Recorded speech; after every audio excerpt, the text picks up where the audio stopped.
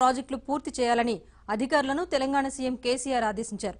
నిర్వాసితులకు పరిహారం అందించే విషయంలో అలసత్వం తగదని ఆయన గుర్తు చేశారు. ప్రాజెక్టులపై ఎప్పటికప్పుడు సమీక్షలు నిర్వహిస్తూ సత్వరం పనులు పూర్తయ్యేందుకు చర్యలు తీసుకుంటామన్నారు.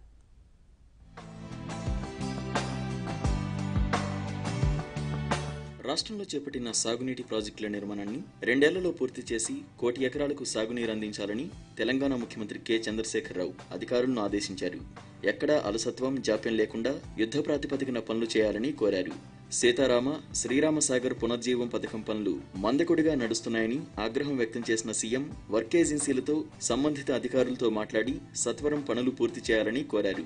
ప్రాజెక్టుల నిర్మాణం కోసం సేకరించిన భూములకు సంబంధించిన పరిహారం వెంటనే చెల్లించాలని ఆదేశించారు. ఇందుకోసం అవసరమైన నిధులను వెంటనే విడుదల చేయాలని ఆర్థిక శాఖ అధికారులకు దిశానిర్దేశం చేశారు. ప్రాజెక్టుల నిర్మాణాన్ని స్వయంగా పరిశీలించేందుకు తానే రెండు రోజుల పాటు నిర్మాణ ప్రాంతాలను సందర్శించాలని ముఖ్యమంత్రి నిర్ణయించారు. కాళేశ్వరం ప్రాజెక్టులో భాగంగా నిర్మిస్తున్న మేడిగడ్డ సుందిల్ల అన్నారం బ్యారేజీలను పంప్ హౌజులను సీఎం మంగళవారం సందర్శిస్తారు. అనంతరం మరో రోజు ఎస్ఆర్ఎస్పీ పునర్జీవ పథకం కింద చేపట్టిన పనులను పరిశీలిస్తారు. రాష్ట్రంలో నిర్మిస్తున్న నీటి ప్రాజెక్టుల పనుల పురోగతిపై ముఖ్యమంత్రి కేసీఆర్ ప్రగతి భవన్లో నిన్న సుదీర్ఘ సమీక్ష నిర్వహించారు. దాదాపు ఏడు గంటల పాటు సమగ్రంగా సమీక్షించారు. మంత్రి మహమ్మద్ అలీ ప్రభుత్వ ప్రధాన కార్యదర్శి ఎస్కే జోషి ఆర్థిక శాఖ ముఖ్య కార్యదర్శి రామకృష్ణారావు నీటిపారుదల శాఖ ఈఎన్సీ మురళీధర్ ఇతర అధికారులు MP B Vinod Kumar MLA Vemula Prashanth Reddy పాల్గొన్నారు. కాళేశ్వరం ఎస్ఆర్ఎస్పీ పునర్జీవ పథకంలో భాగంగా చేపట్టిన నిర్మాణాలపై కూలంకషంగా చర్చించారు. అధికారులకు తగు సూచనలు చేశారు.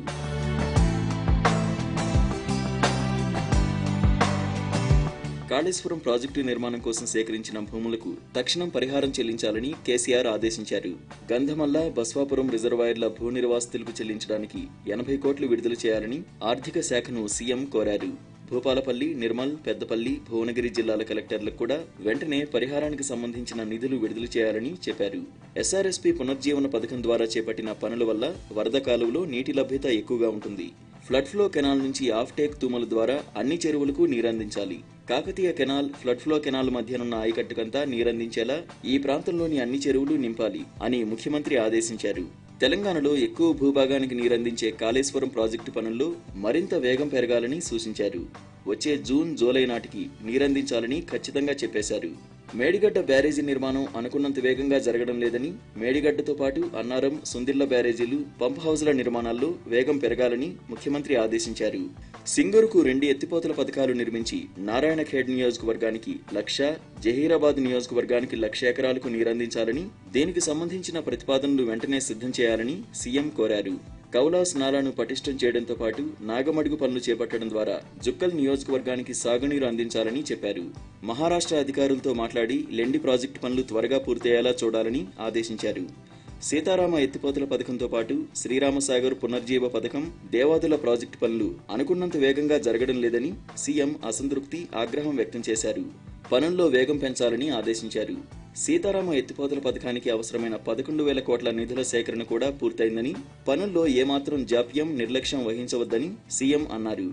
వర్కేజెన్సీల బాధ్యులతో సీఎం స్వయంగా ఫోన్లో మాట్లాడారు. ఎస్ఆర్ఎస్పీ పునర్జీవ పథకం పనులను మేకల్లా పూర్తి చేస్తామని వర్క్ ఏజెన్సీలు సీఎంకు మాటిచ్చాయి. పాలమూరు రంగారెడ్డి డిండి సీతారామ దేవాదుల ప్రాజెక్టులపై త్వరలోనే మరోసారి విస్తృత స్థాయిలో సమీక్ష నిర్వహించాలని సీఎం నిర్ణయించారు.